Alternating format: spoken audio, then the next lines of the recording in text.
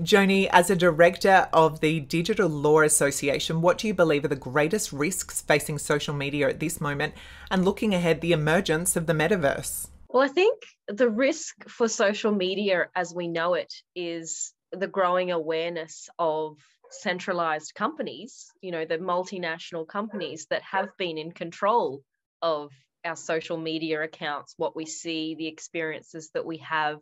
the data that they collect on us. And there's a growing movement now, uh, fueled by blockchain technology, to decentralize yourself.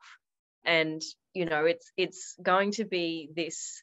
ongoing battle now, I think, between what we know as the centralized multinational companies like the Googles and the Facebooks, um, the, the traditional digital platform centralized model,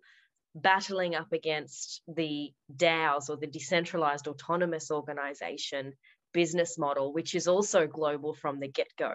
but um, based on the technology design, is intended to give its users more choice, more economic agency, more privacy enhancing ways of interacting online,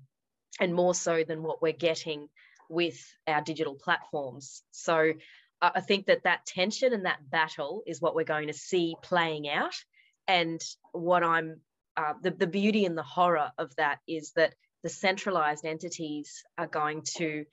use and and the language of decentralization and privacy enhancing and and that they are framing their products to be in the interests of their users and their consumers but i really will challenge all of those customers and users around the globe to look into what is actually happening, what is the underlying technology and data being collected, so that they are informed and they can choose whether to continue to support the centralized offerings versus the decentralized offerings. So, Joni, how did you feel watching Facebook's recent name change announcement to Meta, and what do you think um, about this? Is it a key moment in the time for regulators? There's ripple effects that you can feel now and, and that you uh, can estimate will happen because of um, not just what Facebook is doing uh, and now with their rebranding to Meta, but what the other digital platforms will do and other social media companies. That those ripple effects again give me great fear and great excitement because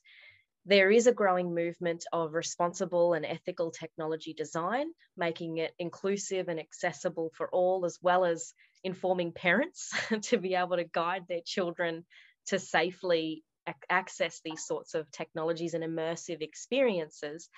But I, having been involved with government consultations and submissions to reform the law,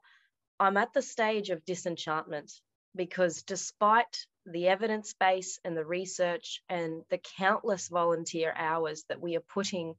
into informing the policymakers,